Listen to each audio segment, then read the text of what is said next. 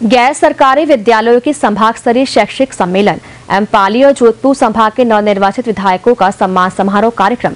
रविवार को चपासी housing board से सिंधु महल में आयोजित किया जाएगा।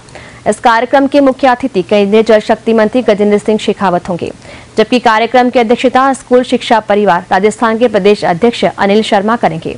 कार्यक्रम के विशिष्ट अतिथि पाली और जोधपुर संभाग के नवनियुक्त मंत्री गजेंद्र सिंह खेलसर जोगाराम पटेल, जोराराम कुमावत, अविनाश गहलोत, ओटाराम देवासी के के विश्नोई तथा बीजेपी के सम्मानित नवनिर्वाचित विधायक तथा जिला अध्यक्ष होंगे।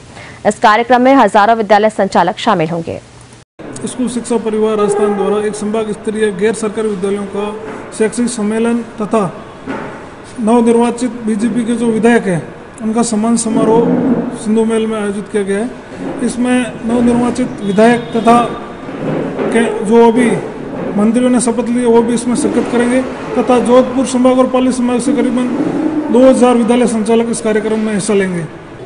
हज़ारों की संख्या में निजी स्कूल संचालक यहाँ पहुँच रहे हैं। उनसे विनम्र आग्रह है कि आप अधिक से अधिक संख्या में पहुँच इस कार्यक्रम को सफल बनाएँ। दूर दराज फड़ोदी है, बाप घंटियाड़ी आऊ बाड़ेसर शेरगढ़ डेचू ओशिया बिलाड़ा भोपालगढ़, पीपाड़, जालोर, पाली, सिरोही, जैसलमेर, बाड़मेर, बालोतरा सहित अनेक क्षेत्रों से प्रमुख पदाधिकारी सहित आम स्कूल संचालक इस कार्यक्रम में भाग ले रहे हैं। इनकी तैयारियाँ अंतिम शोर पर है। सारी व्यवस्थाएँ पूर्ण कर ली गई है।